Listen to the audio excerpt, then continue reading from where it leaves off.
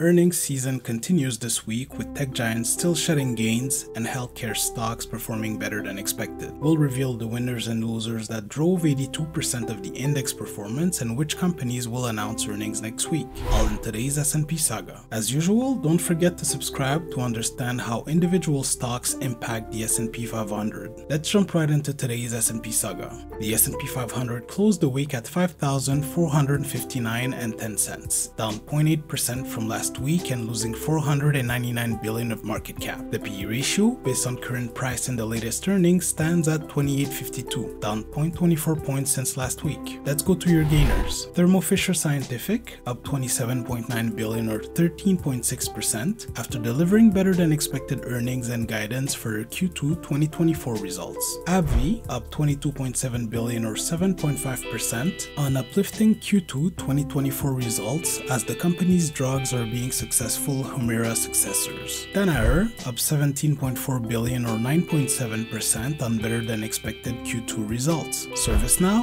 is up 15.7 billion or 10.2% on strong Q2 2024 results. Bristol Myers Squibb up 15.7 billion or 18.2%, also beating earnings and profit estimates. Moving on to your losers. Alphabet is down 140.5 billion or 6.3% following disappointing YouTube YouTube results offset by great financial performance. Nvidia is down 119.8 billion or 4.1% on no specific news. Apple is down 97.4 billion or 2.8% on no specific news as well. Microsoft is down 88 billion or 2.7% on no specific news. It should be noted that the company was paralyzed at the start of the week by the CrowdStrike outage that impacted over 8 million devices worldwide. Tesla is down 61.9 billion or 8.1% after posting disappointing results and promising more new products outside of its core business. This week, there were no changes announced to the S&P 500. So what should you look out for next week? Earnings season was in full swing last week with over 136 companies reporting results. 153 additional companies will release earnings during the week ending August 2nd, 2024. And the most interesting will be McDonald's on July 29th, Microsoft, Procter & Gamble, Merck,